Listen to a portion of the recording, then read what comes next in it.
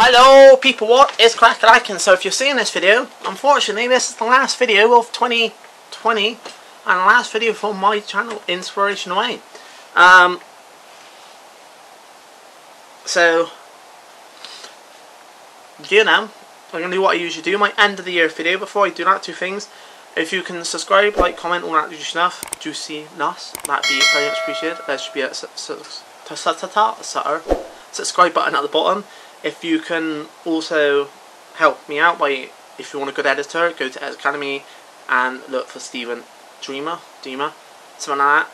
Uh, he's an amazing editor. He's the one that edits my channel for me.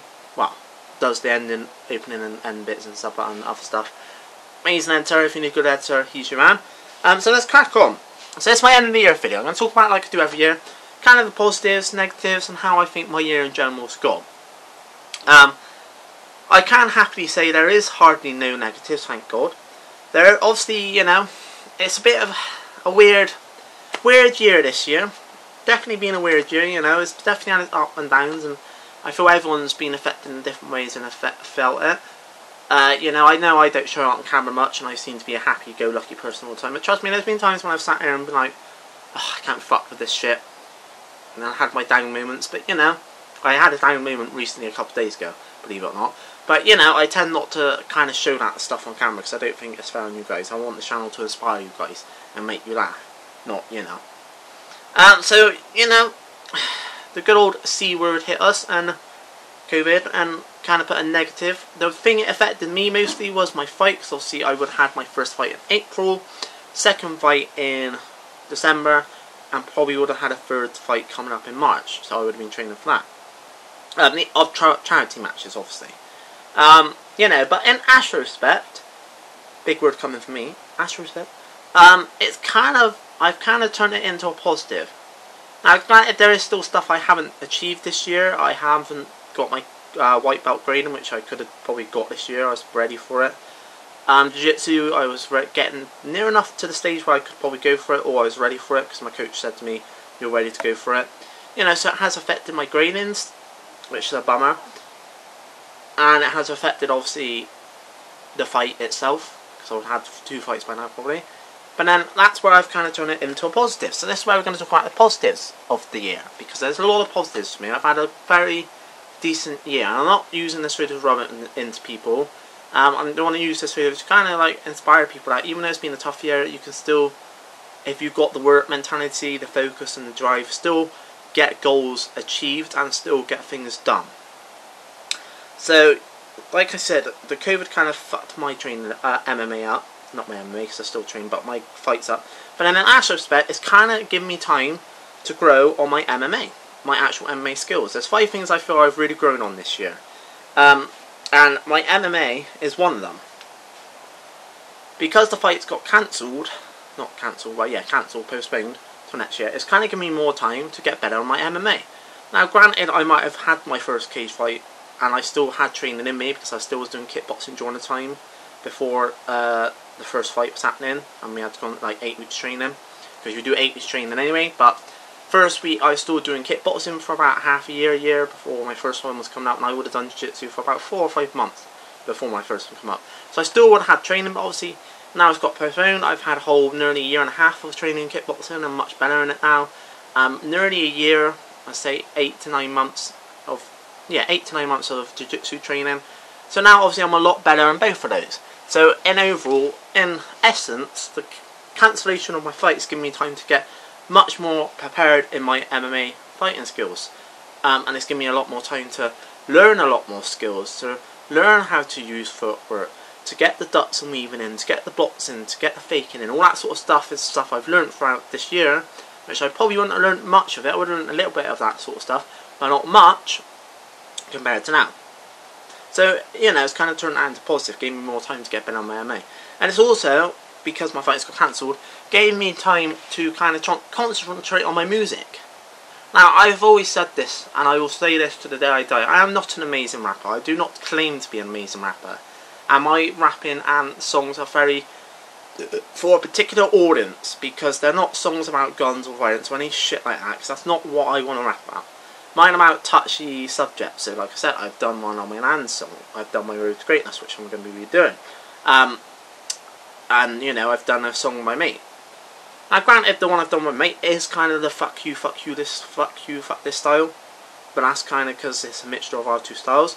Um, but whereas, like, my Road to Greatness, that's me about, that was more about me going on a journey and discovering the true me and getting the confidence that I am today. And obviously, my Nan's one is dedicated to my Nan, who passed away. And I've got more. I've got confidence one. I've got um, my stepmom's one. I'm currently working on about how my marriage kind of failed. Um, not going to go into reasons why, but it kind of failed due to me. I fucked it up. Um, and it kind of used the heartbreak of losing my wife to kind of focus on me and become a strong person. Now I'd love to mix the style I've got, my lifestyle I've got now, with being with her. But you know, so I know my rapping's kind of like for certain people. But it's still giving me that time to get better at my music, to sit down and actually focus on my music, get better, um, and actually go to studio and produce an actual track. Like I'm releasing my EP this year, I would have by the time this video is out. Um, you know, which is amazing because if you said to me a, year ago I would have went to studio a few times and actually released an EP and have like two or three official songs recorded, right, I've got to go back and do my Road to Greatness to make it better. But, you know, I've still got my Nan's one which come out, which is my EP one, and I've still got them on my mate if you was to say I a year ago I would have done any of that stuff, I would have said no. So that's how I kind of turned COVID into a negative of not having my fights into a positive by giving my dedicating more time to training and more time to music because it's giving me more time to structure my music better and get better and faster. But there's also three other things I think I've really been able to grow this year. One of them I'm doing now is YouTube. I've really this year kind of tried to focus on YouTube and get my thumbnails, my titles, the video quality of you for you guys better. I've invested um, invested in a lot more for my YouTube this year. I've obviously got a nice little professional light now. I take a lot more time to edit my videos. I've got an editor that I work with.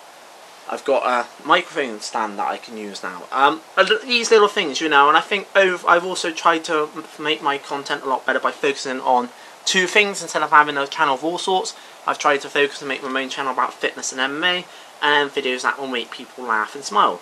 So that's where like the MMA No Skill to Skill series comes in and the Moonam review I would have done and the Kung Fu, top 5 Kung Fu things and that's where the fitness comes in with the resistance bands because that's no part of No Skill to Skill. And then the comedy stuff is where you get the challenges and podcasts. And I think really concentrating, like I said, all the stuff by doing all that stuff, the title thumbnail, putting more time into it, more dedication and more focus, it's made my channel a lot better um, which I've never I've got 500 subs, which I never thought would happen. And focusing having a second channel for my game, and I think will in the time make that better as well because at the moment it's a new channel. Um, and then lastly but not leastly, myself. I've stated many times I'm probably in the best shape I've ever been. I've gone from 100 kilos this beginning of the year to at the moment I'm 83.8 kilos. Um, I've still got three weeks left of my shred, so by the time it finishes I could be 83 kilos. Um, and mentally, I just feel like I'm stronger than ever. I'm confident. I know what I want in life. I know what I've got to do in life to get those things. Um, I'm much more laid back. I don't let haters get to me as much. And all these things, I think, it's just made me a better, more person that people can relate to and chat to. And actually, you know, I've made myself just, in general, I think, a better person, physically and mentally. And also, I think friends. I think it's been a good year for me, my friends. Um, now that might sound, sound silly because you'll think, well, what do you mean? Your friends, your friends for life. But I mean, you know, G-Man, I've made good memories with him this year by going to Weymouth. It was, granted, our only trip this year because we didn't go to Butlins. But, you know, it's still a memory with him. And then my other friend Haley, which is my other good friend. I feel like her, me and her has grown so much this year as friends that we're probably the closest we've ever been. Um, you know, and I really I'm thankful for that. Because as exes, you know, it's hard to get a good friendship with your ex. But I feel we've got to that point where we are really strong friends. Um, and we chat about anything anything to each other and we can go out and have drinks with each other. We did for my birthday. So, you know, I think like this year the most important thing is I've done a lot of growing. And I'm happy about that. Um, so, yeah. This year has been a very good year for me, I think. And I hope to make 2021 a better year. But on that note, make sure you check out my second channel, A Gaming 2. I'm in Inspirational A. Happy Christmas. Hope you have a good, had a good year. I hope you continue to have a good year next year. Cheers.